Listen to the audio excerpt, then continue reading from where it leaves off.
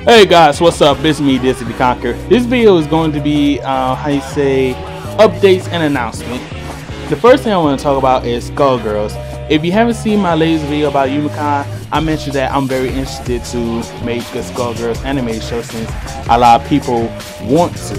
And it seems like everyone else wanted, but they're not really tackling it, so I decided that I want to tackle it. But here's the thing, Mike Z announced that the game isn't is doing well financially, but during like supporting community wise, it's not doing so great.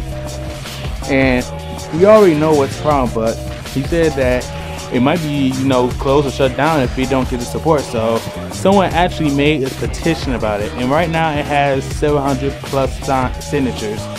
And this is where I want to come in. If the game isn't really getting that much support, and I'm waiting for the game to be 100% completely done. I can't make the, you know, show because the fact that it's not getting that much community support. So if you want to, you know, if you like the game, go ahead and sign it because he wants to bring this game, you know, off the, off the ground, you know, what much much more than what he's doing.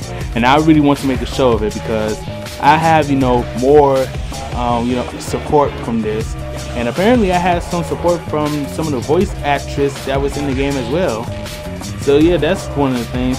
The second thing is that I officially won XSplit 3 month edition. And right now we're just going to use it to test live stream because me and you know new people that's from Story Arc that is actually in Story Arc right now, we are trying to get the one year you know version because well because three months isn't really all that. Besides, we don't really like using Google Hangouts anyway. I think that's just for, you know, spaces live stream where you want to do like a group on stream or something like that. When it comes to like showing real stuff, we rather want to use Wirecast. So we tried contacting Social Blade and they gave me the same thing. I mean, I even submitted a picture of my account I don't know if I'm on the waiting list or not. 9 out of 10 I probably am, but just in case, I might ask um, Jason Ergo about it when I get the chance. And the third thing is that we have officially, well I have officially started on DC United. In other words, I am making prologues for one of the, or five superheroes really. And 9 out of 10 you already know who they are. The original Justice League.